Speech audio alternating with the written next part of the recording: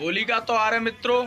कृपया जो रंग लगाने से मना करे उसे रंग ना लगाएँ बल्कि उसे कीचम पटक दो। और मैं सारे पे लीपा पोती कर दो। बारी और रंगन की ना ही करे वे वाओ।